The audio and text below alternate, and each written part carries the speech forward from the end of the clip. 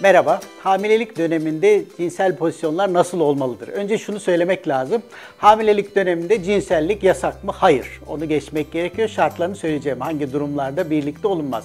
Ama şunu bilmek lazım ki hamilelik döneminde kadın çok hassastır ve bu dönemde erkeğin ona çok yumuşak, çok centilmence yaklaşması gerekiyor. Artı bebeğe karşı çok fazla travmatik veya zorlayıcı olmamalı. Dolayısıyla bu durumda uygun olacak cinsel pozisyonları saydığımızda annenin üstte, erkeğin altta olduğu her türlü pozisyon uygundur.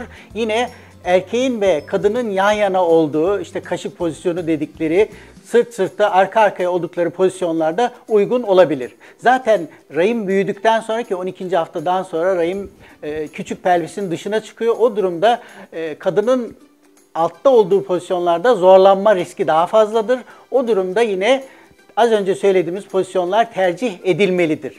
Peki cinselliğin yasak olduğu durumlar yok mudur? Tabii ki vardır. Örneğin önceki gebeliğinde düşük oldu. Örneğin erken doğum tehdidi var veya düşük tehdit var. Gebelik esnasında kanama oldu. Veya bebeğin eşinin, plasentanın aşağıda olduğu durumlarda veya bol akıntı olduğu durumlarda cinsellik yasak edilir. Ayrıca doğumu başlatan madde prostaglandin dediğimiz menide bulunmuştur ilk önce. Dolayısıyla son ayda gebelik doğumu başlatabileceği için cinsellik yasak diyoruz.